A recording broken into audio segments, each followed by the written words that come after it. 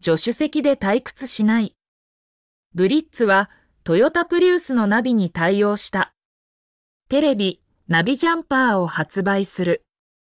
テレビ、ナビジャンパーは、走行中に同乗者がテレビの視聴、ナビゲーションの目的地設定や、DVD 視聴ができるようになる商品。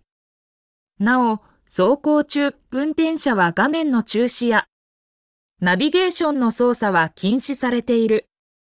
車両配線を加工することなく、完全コネクタ音での取り付けが可能。テレビ切り替えタイプには超小型スイッチ。H13mm×W15mm×T5mm を標準装備し、スイッチを車両の限られたスペースに目立たないように取り付けることが可能。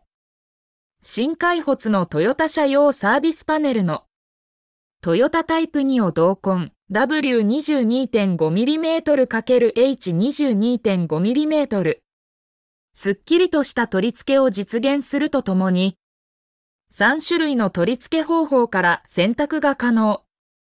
ブリッツ、ロゴ入りの専用アダプターも付属。